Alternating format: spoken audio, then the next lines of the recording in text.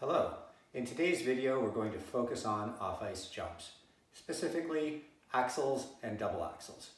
The video you're going to see is Chrissy, and she will go through the step right through to the completion of the jump, so it's very clear to see the positions we're trying to achieve. Step, hold, up, in.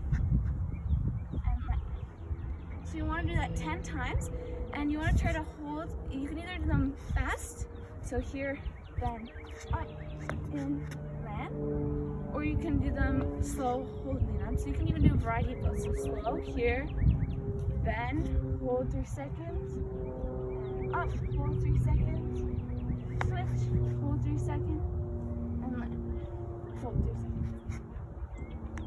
So you want to do that 10 times. Get those reps in.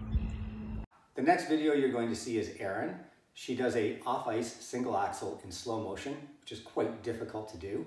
She utilizes a right foot inside hop with the left foot crossing over, which really helps establish the right position on the step.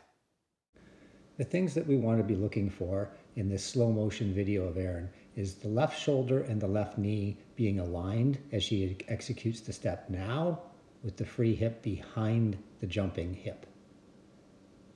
On the landing, her free leg automatically goes to a nicely turned out position. The next video you're going to see is an off-ice double axel, demonstrated by Chrissy and Karina.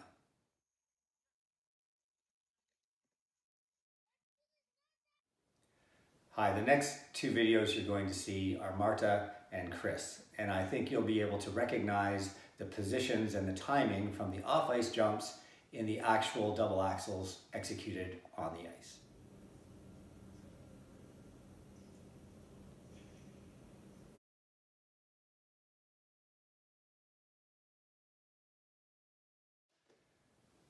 That's today's lesson. I hope it helps you out.